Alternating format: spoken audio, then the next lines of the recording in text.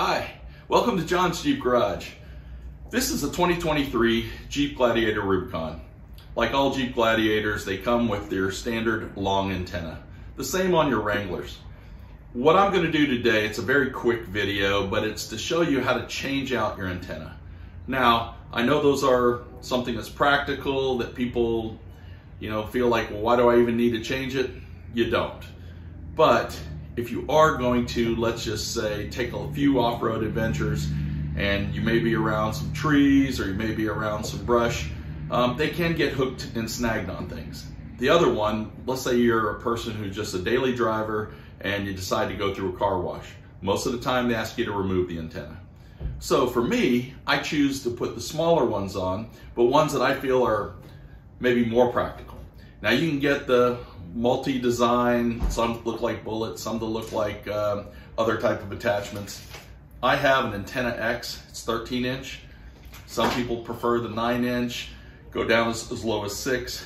It's really a matter of preference, but this has enough flex in it and enough give to where I'm not worried about um, it ever being ripped off or causing any problems out on the trail. So follow along, it's very simple, and uh, thank you for watching. So as I mentioned, I use Antenna X. And as you see, it can fit the Wranglers, the JLs, the JTs. Um, and of course, I said I'm using 13 inches to switch it out. But if you want to buy these and you like them, I picked this up on Amazon. Um, but you can see there's other options and other brands out there. Okay, all I need is my fingers and a crescent wrench. So I take this and if you look here, there's two flat sides. So I just try to fit the crescent wrench right on those two flat sides and then I go counterclockwise. Now, this is a brand new Gladiator and what you will find is that after, if you're doing this on an older Jeep and there may be some rust or just some buildup, you may need to maneuver this a little bit more, shoot some WD-40 in there but I can go ahead and twist this off now with my hands. Now, I wanna show you something. The Antenna X brand comes with one adapter or one fitting. You can buy other antennas. They offer multi-fit for multi-vehicles. Nothing wrong with that. But when you buy this one specifically for the Wrangler, the JL, or the JT, it fits. And then you bring it down to a clockwise rotation to tighten it in.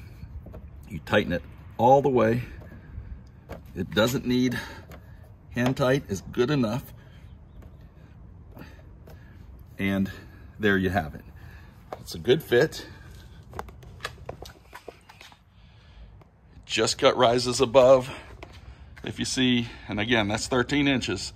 So just imagine the shorter ones and where they would go.